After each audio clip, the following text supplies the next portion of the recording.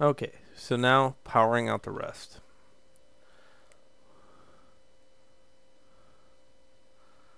A lot of this stuff has no no real detail and all I'm worried about is it matching round so I can kind of get it to a circle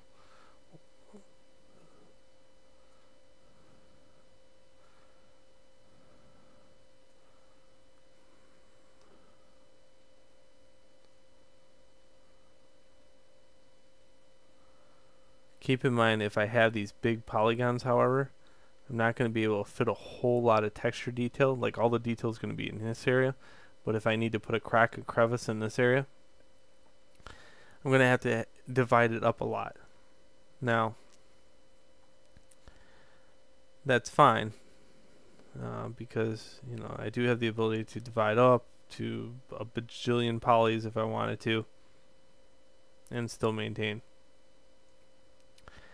right here. This is this is probably a bad idea right here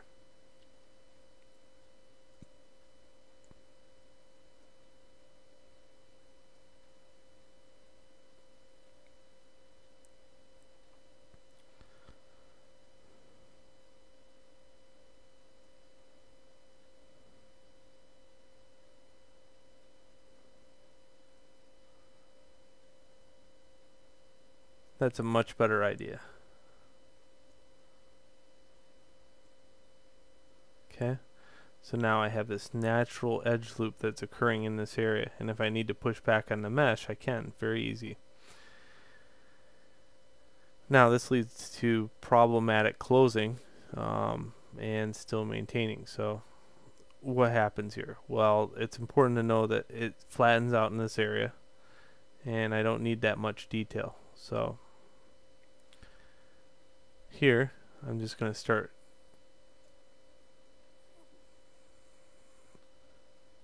Thinking about how I'm going to put another edge loop in here.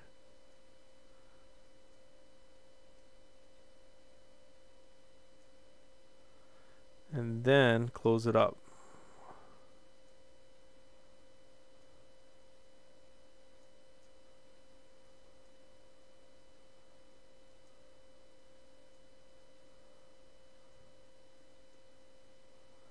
okay?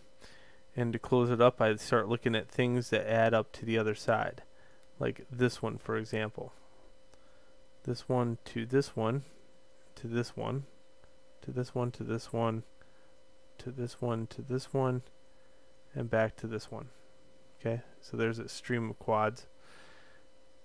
Uh, there's looks like to me there is one here just hanging out doing absolutely nothing. Uh, to kind of see that Oh, okay, it's not attached to anything, so that's that's important.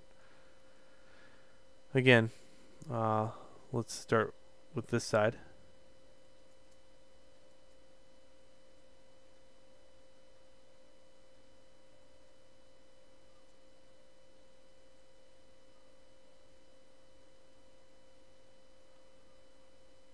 Okay, and let's move on to the final.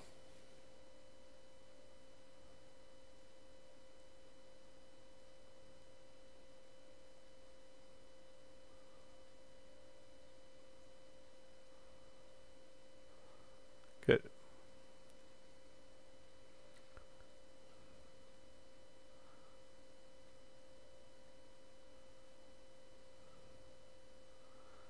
Okay, again, I'm not really worried about too much of this other stuff.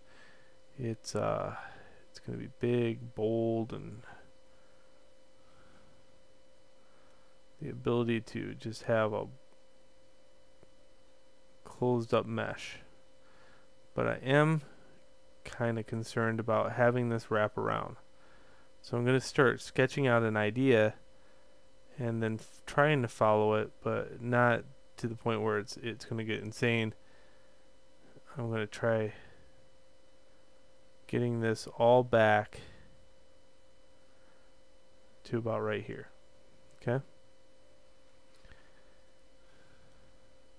And sometimes it helps just to sketch those lines out.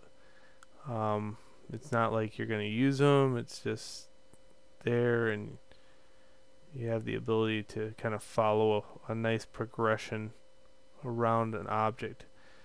Keep in mind this area is round, so we must maintain that.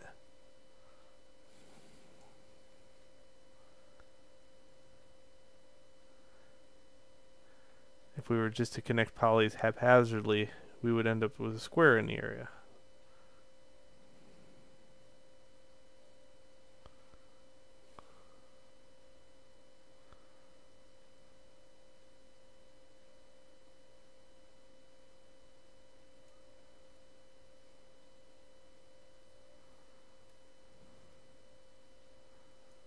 Oh, I see something.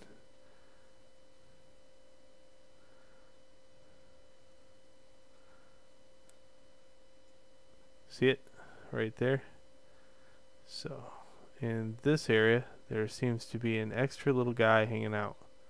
Again, be careful when you delete. If you delete, make sure you check the other side of the mesh immediately after fixing it.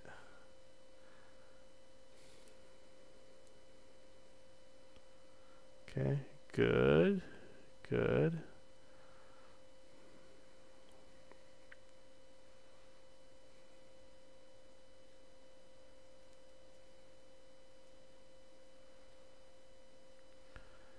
Okay, this area right here, this is where the base of the skull meets the spine. So this is how you handle something like this.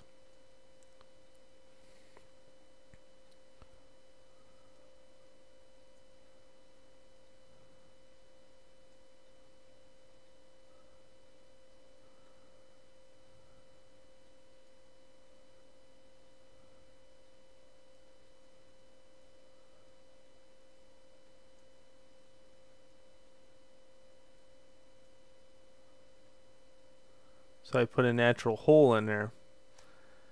But I should, I think I did it in such a way that I can just go like that. And I can always extrude that up if I need to. Okay. So it's going all the way around. Okay.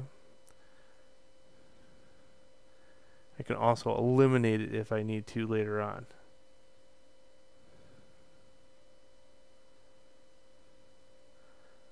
Alright, so now I've reached um, the hell stage.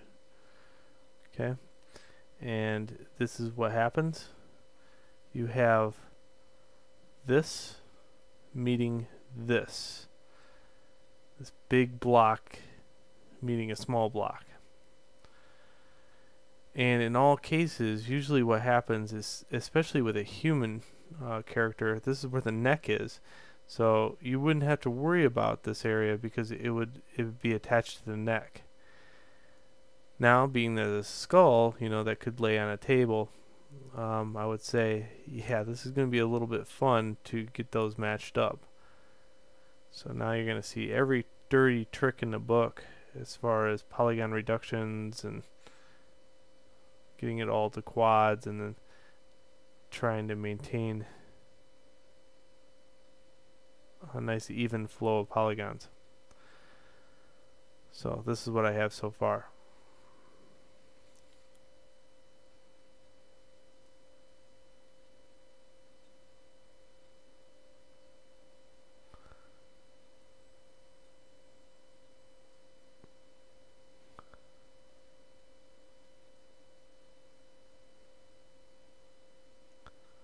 Again, what I'm doing here is trying to close off the worst in hopes for the best.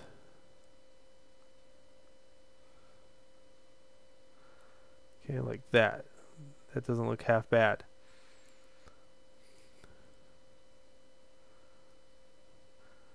Now I'm going to say maybe in this area we start worrying about maybe a polygon reduction trick in this area. I'll be covering that in the next video.